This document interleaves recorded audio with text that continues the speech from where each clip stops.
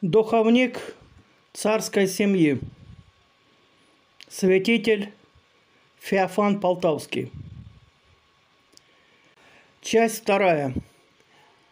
Отец Феофан оказывал доброе влияние на всю семью. Дневники императрицы Александры Федоровны этого периода полны выписками из писаний отцов церкви, что свидетельствует, с каким душевным вниманием она изучала рекомендованную духовную литературу – ее записки маленьким дочерям, где она напоминала им прочитать книгу, которую батюшка принес вам перед причастием, отражают заботу отца Феофана также и о царственных детях. В 1909 году, 1 февраля, архимандрит Феофан был назначен ректором Санкт-Петербургской духовной академии. И вместе с тем, через три недели, в воскресенье, 22 февраля, в день памяти во святых великого святителя Григория Паламы, архиепископа Фессалоникийского, на второй неделе Великого Поста в соборе Александра Невской Лавры была совершена хератония архимандрита Феофана во епископа Ямбургского, викария Санкт-Петербургской епархии. Хератонию совершил первенствующий член Святейшего Синода, Высокопреосвященный Антоний Ватковский – митрополит Санкт-Петербургский и Ладожский, с прочими членами Святейшего Синода и с иными прибывшими в столицу иерархами. Всего числом 13 и 14 новорукоположенный преосвященный епископ Феофан со множеством сослужащих священников и диаконов.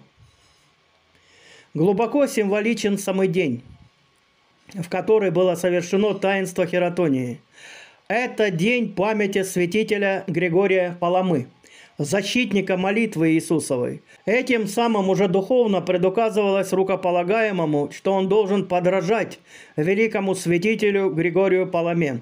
А кроме того, как носителю имени святого Феофана Исповедника, ему менялось подражание и этому защитнику чистоты православия, как подражание особо чтимому самим рукополагаемым блаженной памяти Преосвященному Феофану, Вышинскому затворнику.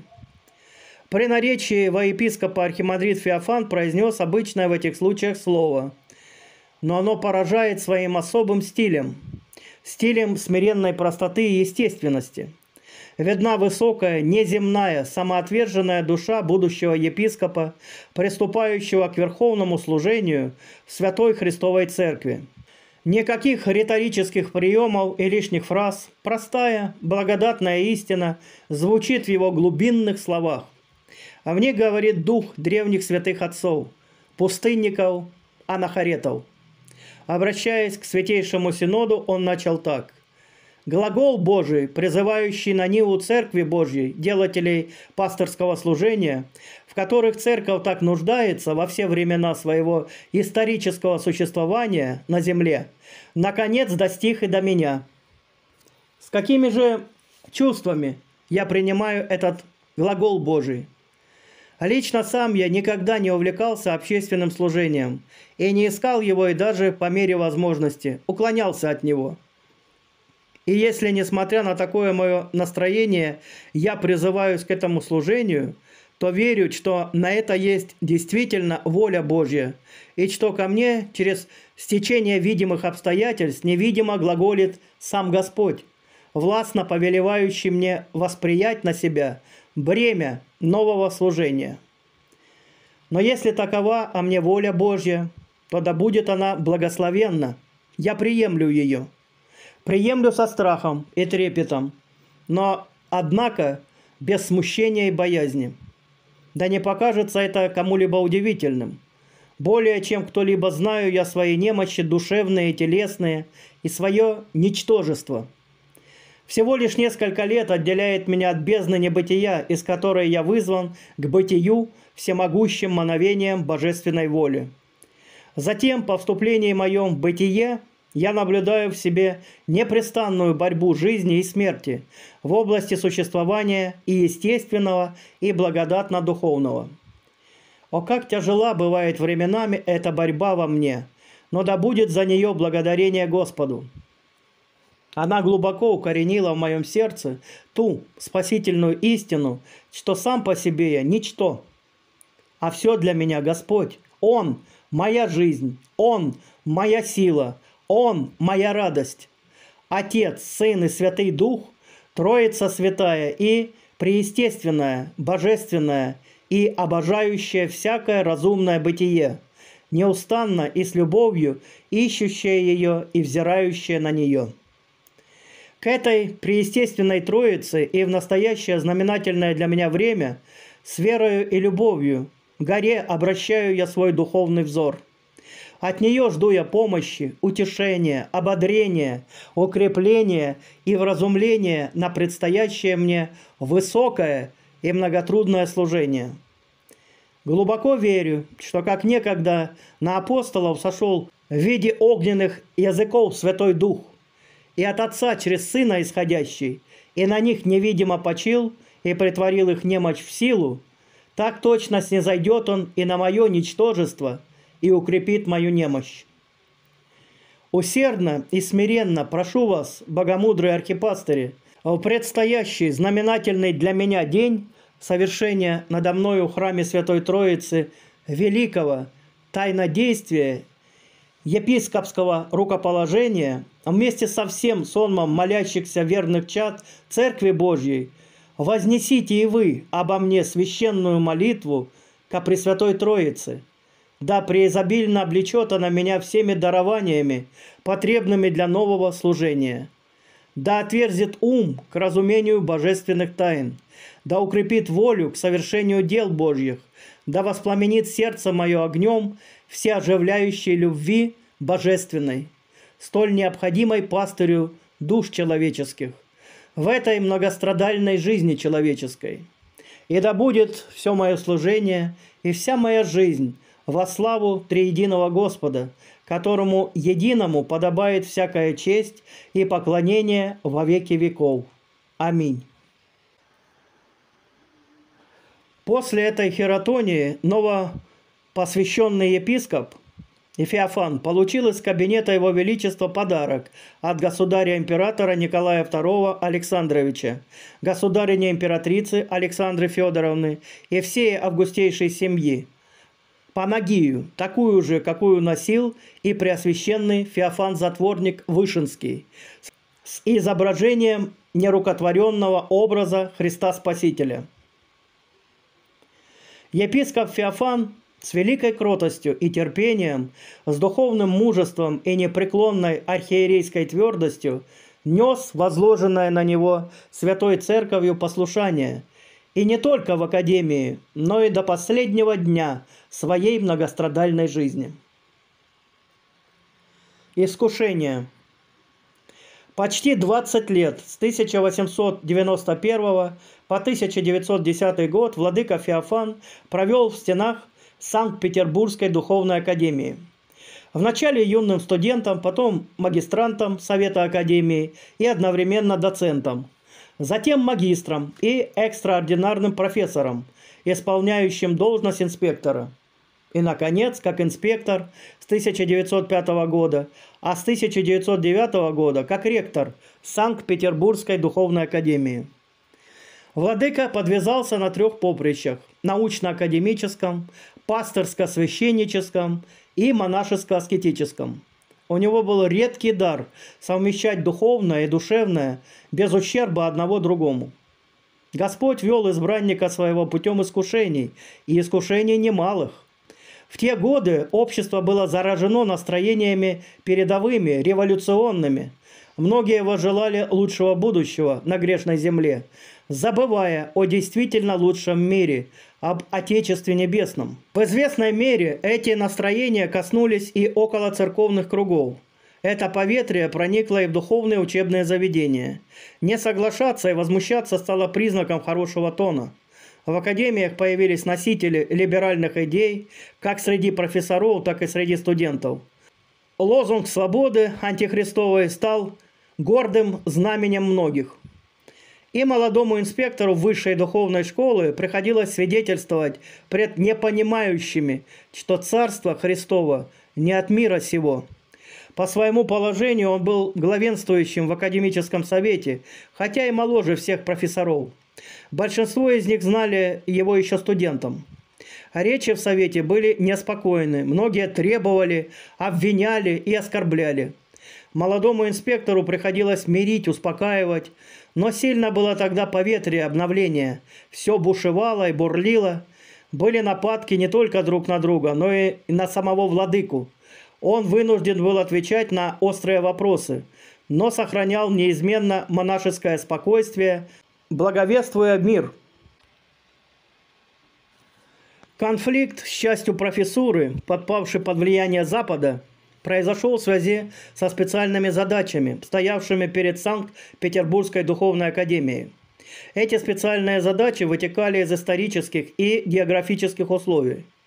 Так Казанская духовная академия уменялась в обязанность защиты от ислама, буддизма и прочих восточных религий, с которыми Россия соприкасалась на восточных границах империи.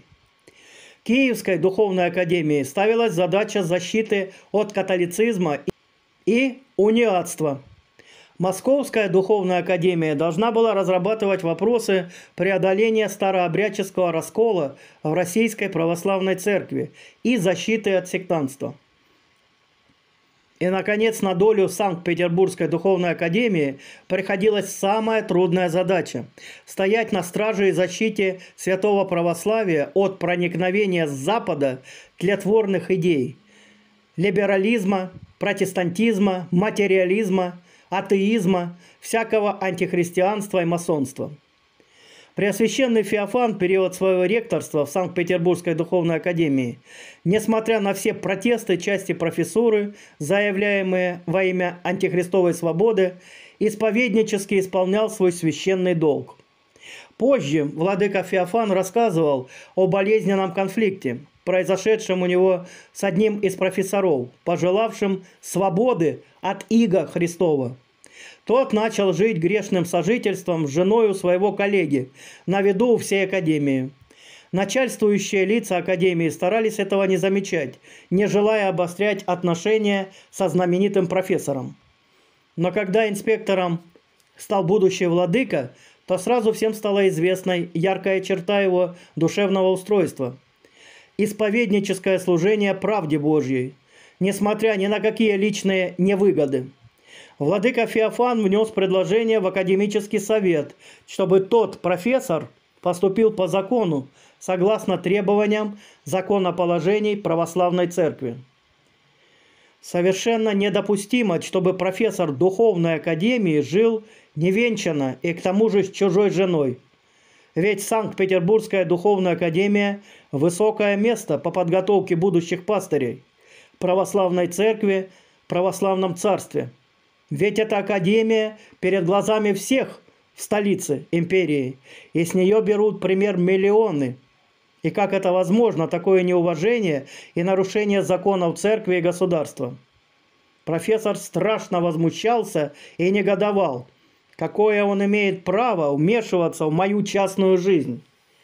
На это владыка ответил, что, во-первых, это не совсем частная жизнь, Профессор Духовной Академии должен по своему положению жить по-христиански, а во-вторых, по законоположению инспектор Академии обязан обратить внимание на это.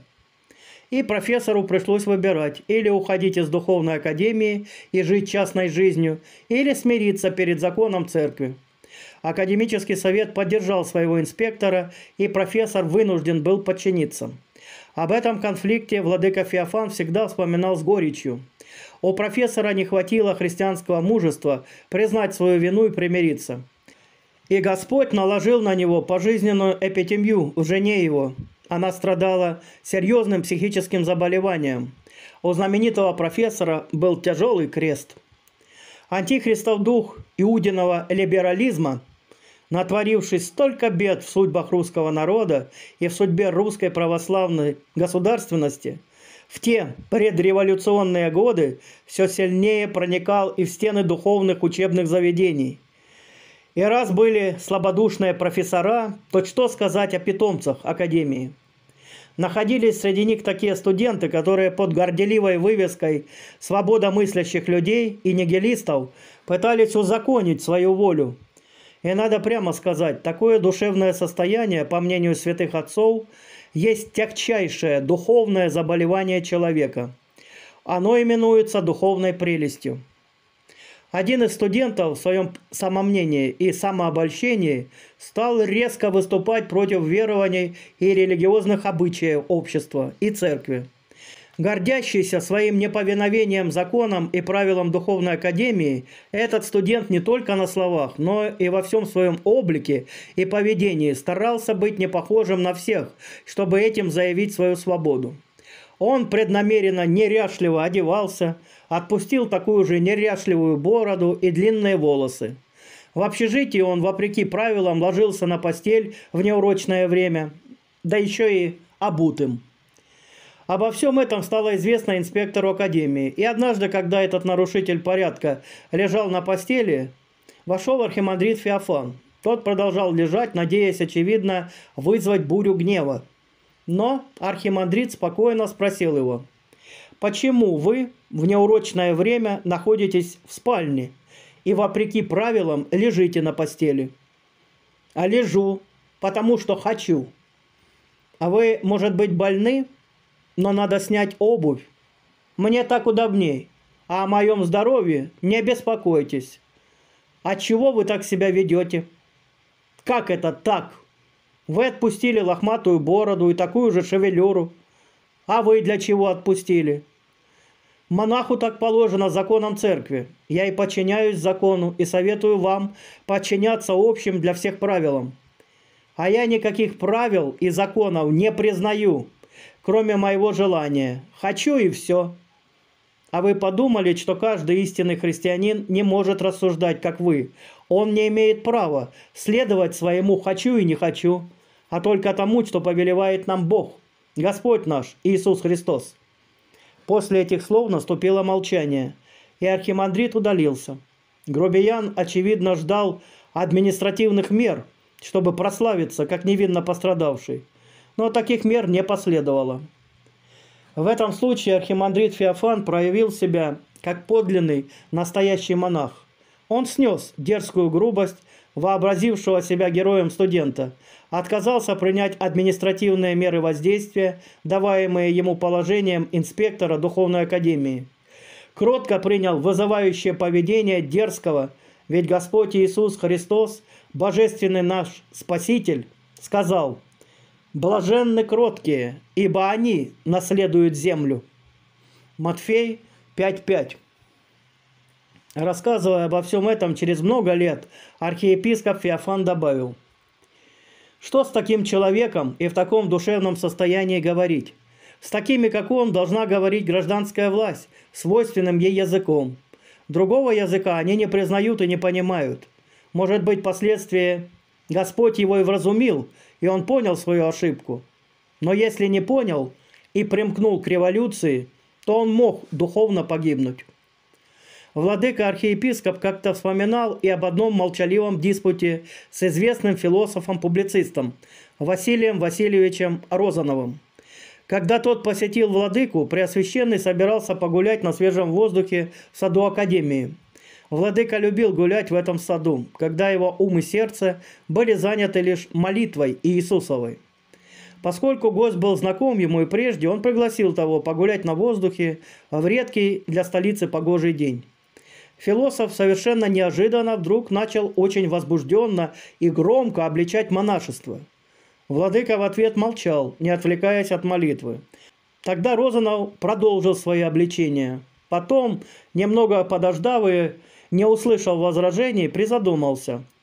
Прошлись еще немного. Спорщик продолжил, но уже медленнее и тише, заглядывая в глаза владыки, но так и не разгадал, какое впечатление производят его пассажи, так как Преосвященный молился, опустив глаза долу.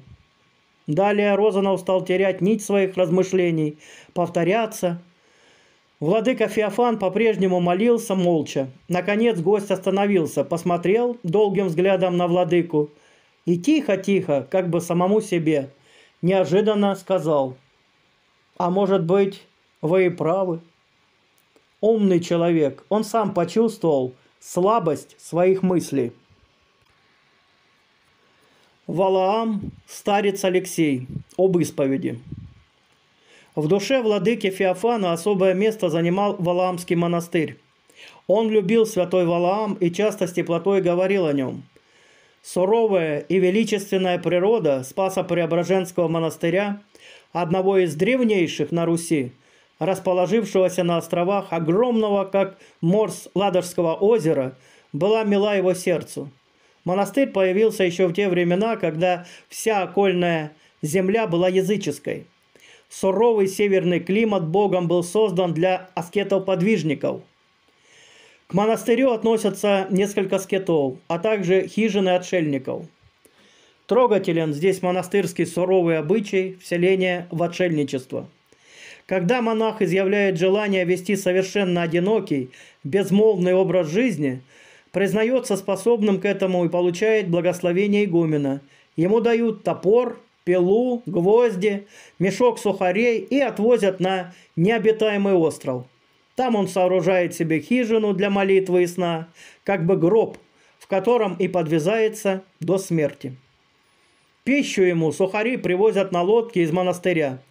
При этом не произносят ни слова, ибо он дал обет Богу умереть миру и жить лишь о Господе. В годы своего 20-летнего пребывания в Петербургской духовной академии владыка Феофан часто уединялся на Валааме. Вспоминая о своих путешествиях, он говорил, «Как только попадешь на пароход, доставляющий богомольцев в обитель, так уже начинаешь себя чувствовать, будто в монастыре. Это прежде всего потому, что вся команда на пароходе, монахи, все совершается с благословения и с молитвой. И еще вспоминал владыка – Служба в храме кончается, и я прежде отпуска выхожу из храма, чтобы не смущать монахов и богомольцев своим присутствием. А то ведь, как к епископу, все молящиеся начнут подходить под благословение, а я выйду быстро из храма и уйду в лес. А в лесу благодатная, неописуемая красота, молитвенная тишина, как в храме Божьем. Господи, какое это дивное наставление к молитве непрестанной. Действительно, сама неодушевленная природа говорит о великом Творце своем, о Боге. Ибо воистину по величию и красоте созданий познается Он, виновник и создатель бытия их. Однажды в девственном и молитвенном Валаамском лесу, в этом нерукотворном храме Божьем – привелось владыке Феофану пережить нечто дивное, благодатное. Вышел он, как обычно, из монастырского храма и уединился, чтобы всецело отдаться той радостной, благословенной молитве, которая совершается по милости Божьей в тайне. Но вскоре он заметил большую безмолвную толпу народа со старцем и иеросхимонахом Алексеем – на которого было возложено игуменом послушание поучать народ собеседованиями вне храма. Увидя это, владыка пошел в сторону и думал, что больше не встретится с этой толпой. Но оказалось, что и старец вел богомольцев в ту же сторону. Тогда он решил пропустить шествие мимо, а потом самому уйти в противоположную сторону. Владыка находился в чаще и оттуда наблюдал прохождение богомольцев – Впереди шел старец, на большом расстоянии от народа, а за ним шли богомольцы, в большинстве своем женщины. Иеросхимонах двигался, склонив голову к земле, занятый по уставу монашескому непрестанной молитвой. У епископа непроизвольно вдруг промелькнула мысль. Ах, напрасно иеросхимонах Алексей окружает себя этими женщинами. Да все молодыми. Нарекания могут быть. Но не успел я, вспоминал позже владыка, этого подумать, как старец поднял голову и, повернувшись в мою сторону, громко сказал, почти выкрикнул «И за Христом ходили!» По неожиданности и краткости произнесенных слов никто не мог понять в народе их смысла и к кому они относились, хотя вся толпа слышала эти слова и взглянула в сторону владыки. Но его за густой чащей нельзя было видеть, а старец снова опустил голову и погрузился в заповеданную Господом непрестанную молитву. Воистину старец Алексей был великий святой и дивный прозорливец, свидетельствовал владыка Феофан. Он был так красив, как ангел Божий. На него порой было трудно смотреть, он весь был как бы в пламени, особенно когда стоял на молитве в алтаре. В это время он весь преображался, его облик становился непередаваемо особым, крайне сосредоточенным и строгим. Он действительно был весь огненный, но миру он остался почти неизвестен, потому что мир был недостоин. Если старец чувствовал, что присутствующие в алтаре невольно наблюдают за ним и за его молитвой, он старался скрыть свое состояние неким юродством. Он в этом случае обычно подходил к стене и, выдавая себя за рассеянного богомольца, по тени своей на стене, поправлял и приглаживал на голове волосы. Владыка Феофан рассказывал о духовной прозорливости дивного старца Божьего Алексея. В то время он, молодой иеромонах Феофан, профессор академии, отправился из Петербурга в Аламский монастырь по некой духовной необходимости. Его беспокоила мысль. В аскетических правилах святых отцов монаху предписывалось как можно меньше уделять внимание своей внешности. Но церковь благословила ему быть ученым монахом и жить и спасаться в миру. Но живя в миру невозможно забыть свою плоть и не заботиться о внешности – с этим и вошел будущий владыка Феофан в келью старца Алексея. Ему он собирался рассказать и ожидать решения, которое, как отец и иеромонах, был совершенно убежден, будет и ответом Божьим на поставленный вопрос. И вера эта не была посрамлена. Отец Феофан не только получил ответ, но получил с удостоверением, что такова именно воля Божья – Старец, как всегда, принял иеромонаха очень и очень радушно. Усадил его и попросил минуточку подождать. Сам же взял зеркало, поставил его на стол, за которым сидел отец иеромонах, взял гребень и старательно причесался. После этого он все убрал со стола и, обратившись к отцу Феофану, сказал, «Ну, а теперь уже будем разговаривать». Так, безо всяких слов, старец Алексей дал ответ на незаданный еще вопрос, с каким отец иеромонах и профессор академии прибыл в обитель Валаамскую и вошел в келью старца. Говоря о насильниках Валаамской обители, владыка Феофан умилялся всегда тому, что старые монахи называли кипяток, который можно было получить после обеда, утешением – на монашеском языке утешением называется послабление каждодневного поста в праздничные дни. Но не сразу привел Господь душу владыки к опытному духовному руководителю, к истинному благодатному святому старцу, каким был иеросхимонах Алексей. В начале своего пребывания в Петербурге студент Василий Быстров пользовался советом духовника, которого по рекомендациям других избрал среди монашествующих Александра Невской лавры – Однажды по действию дьявола случилось немалое искушение. Когда Василий пришел в лавру на исповедь к тому иеромонаху, он оказался нетрезвым. Василий же этим не смутился и, как ни в чем не бывало, исповедался, взял благословение и спокойно ушел. Когда в следующий раз он пришел к этому иеромонаху, тот поклонился ему до земли и просил прощения. При этом монах воздал должное Василию за правильное отношение к случившемуся, за то, что он не смутился и не осудил его. Все получилось неожиданно и для самого духовника. Он не знал слабости своего организма и опьянел от малого. А молодой человек проявил мудрость святых отцов. Мудрость евангельскую, помятуя о том, что на исповеди человек предстоит пред Господом, а не пред человеком. В этом отношении примечательно воспоминание одного человека, которому посчастливилось побывать на исповеди у самого архиепископа Феофана. Я стал перед аналоем в углу его келии, на аналое Святой Крест и Евангелие. Архиепископ прочел молитвы перед исповедью, и когда настало время мне говорить свои грехи, его не оказалось рядом со мною, как это бывает обычно во время исповеди. Я невольно оглянулся. Он стоял в противоположном углу. И понял я, что архиепископ поставил меня пред крестом Христовым и святым Евангелием. Этого понимания, видимо, и желал владыка, ясно показывает, что исповедуюсь я перед самим Богом. У владыки Феофана все, что мы привыкли воспринимать механически, по традиции, без значения и внутреннего смысла, оживало и получало свой изначальный духовный смысл. Старцы.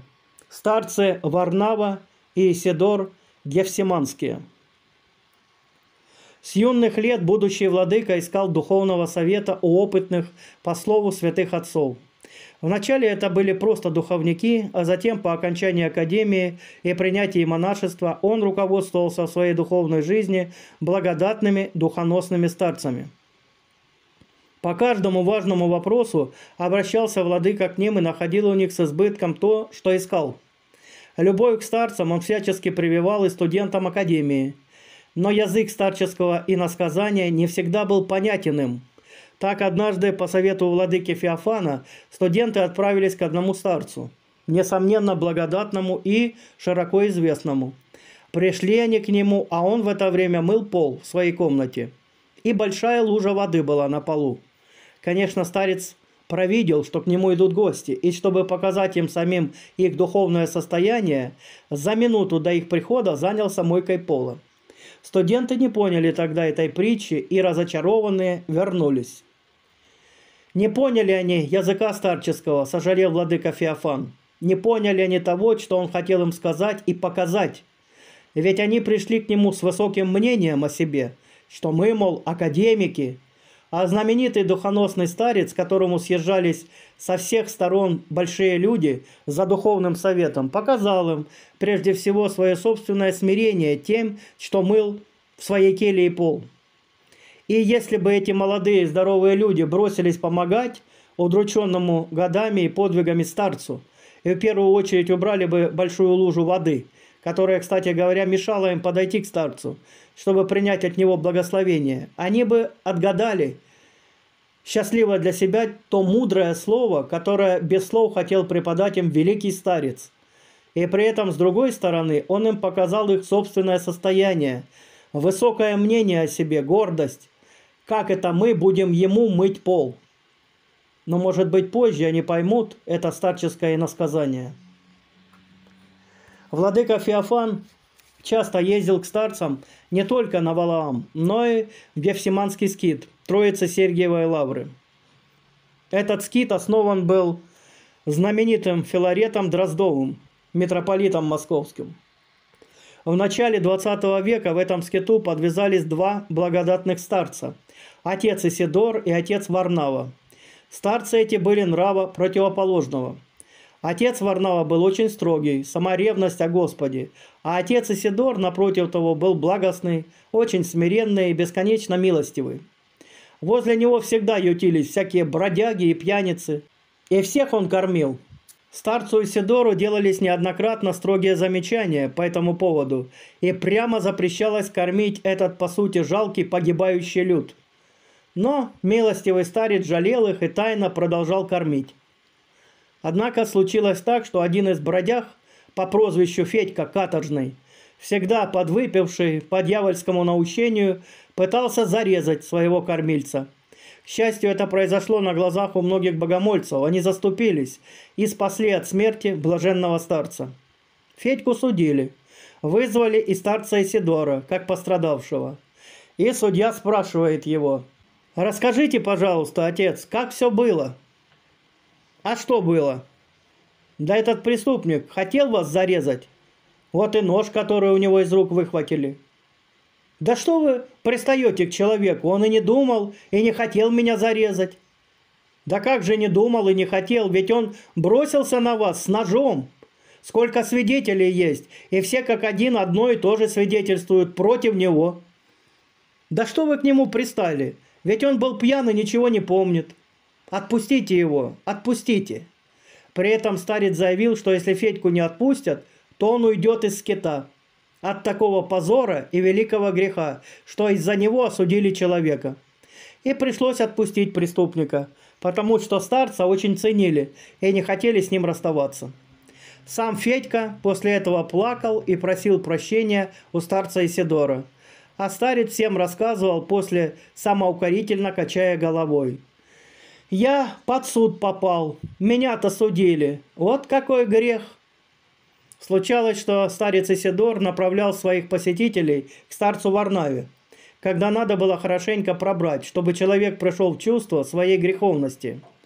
Посетитель не успевал и слова вымолвить, а старец наперед уже знает. А вам по вашей нужде непременно надо пойти к старцу Варнаве, он вам поможет, а мне это не дано. Да нет, батюшка, я хотел бы к вам. Нет, нет, Господь благословляет к отцу Варнаве. Идите с миром и скажите ему, что я вас прислал к нему за наставлением. Так надобно. Это воля Божья. Владыка Феофан говорил, что старцы Варнава и Исидор дополняли друг друга, и поэтому между ними была большая духовная дружба и любовь.